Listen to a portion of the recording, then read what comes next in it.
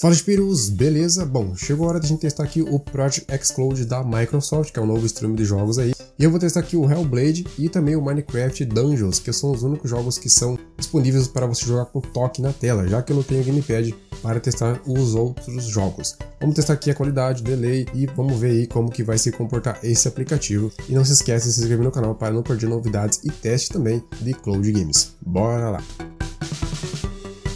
O aplicativo em si é bem interessante, eu testei aqui no meu Samsung Galaxy A20, é um aplicativo bem legal, ele é bem limpo por enquanto, né? Vai ter com certeza atualizações, melhorias e tudo mais. É, eu achei ele um pouquinho lento só para navegar, não sei se é por conta do meu celular ou não, né? Já que ele pede alguns requisitos celulares aí, mas foi de boa. Testando aqui o jogo Hellblade, um jogo que demorou bastante para abrir, principalmente quando iniciou. Um jogo que demora bastante ali para você começar a jogar, tem uma história, mostra ali os créditos iniciais e tudo mais. Mas enfim, é, o jogo demorou bastante para abrir mesmo, se comparado ao Minecraft Dungeons, que abriu bem mais rápido que você já vai ver aí o teste do Minecraft, mas o Hellblade realmente demorou bastante para abrir. Assim que o jogo abriu, já apareceu os comandos aí para você tocar na tela e tudo mais, bem interessante, bem limpo mesmo, os botões clássicos aí do X, o Y, bolinha, enfim, bem legal mesmo. E o jogo no menu tá com uma qualidade muito boa no meu celular. Eu gravei a tela também dele para vocês acompanharem aí.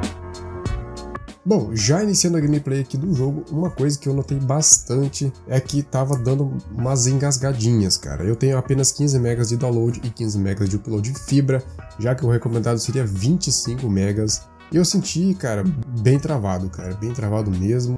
Mas não era toda, toda hora, toda hora. Dava uma pausa de 2, 3 segundos, mas dava uma travadinha. E de vez em quando descia uma linha como se fosse esquisita, cara. Uma, uma linha descendo assim toda hora na tela. Lembra bastante daquelas TV antigas de tubo, que sempre tinha uma linha descendo aí na horizontal que ficava incomodando. Foi isso que eu senti. Algumas pixeladas também.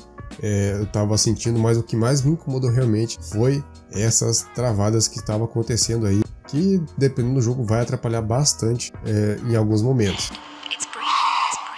Quando começou a gameplay, a primeira coisa que eu fui testar era o delay, lógico, né? Fiquei fazendo as movimentações de câmera e também do personagem. E sim, cara, senti um certo delayzinho sim. Foi mínimo, mas vocês estão percebendo aí na gravação que tem sim um leve delay. É lógico, o serviço ainda está, está em beta, eles têm que implementar. Tem que ter um fator também que eu estou apenas com 15 megas de internet, né? O recomendado seria 25. Tem vários fatores que influenciam num bom desempenho do streamer do jogo. Mas, cara, a qualidade me surpreendeu até mesmo com essas pixelada, essas travadinhas aí que aconteceu. Eu realmente fiquei surpreso com a qualidade. Uma imagem bem nítida no meu celular, que apenas tem resolução 720p. Futuramente eu posso fazer um reteste, né, para testar um jogo, um jogo competitivo, para a gente ver como que vai se comportar realmente o delay. Mas por enquanto tá tranquilo, dá para jogar assim. A gente joga o GeForce Now, porque que não daria para jogar também o Xcode, né?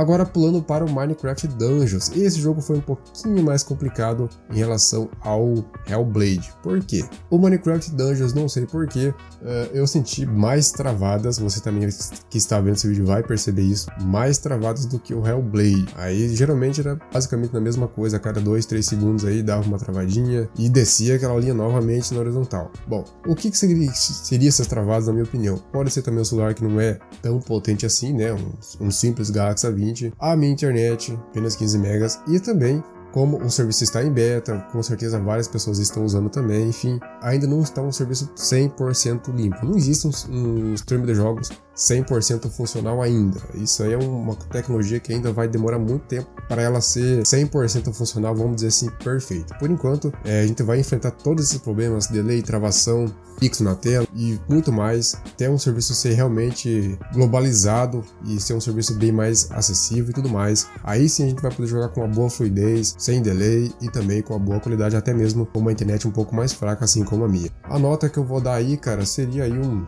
6, 6,5 no máximo, porque ainda é um serviço que está em beta, precisa de muito uh, melhoramento ainda, mas já é um grande avanço, né? Mostra aí que a Microsoft está apoiando bastante esse negócio de streaming de jogos e, cara, estamos caminhando realmente para um futuro onde apenas streamer de jogos vai ser o fator chave para você poder jogar seus games através do celular ou através do seu próprio PC. Espero que logo logo, né, os planos da Microsoft aqui no ano de 2021 expanda o xCloud para o PC. E isso vai ser bom porque eu prefiro mil vezes jogar no PC do que no celular. Aí a gente vai trazer outro teste também, assim que esse serviço estiver disponível no PC. Bom, quem puder jogar, joga e faça o teste tanto no, no Gamepad quanto também no touch e se divirta aí com qualquer tipo de cloud games. O intuito é se divertir, cara. Cada um escolhe qual que é o melhor, qual que vai atender para você e sem mimimis e sem brigas aí, beleza? Então a gente se vê no próximo vídeo. Um grande abraço, mais e falou!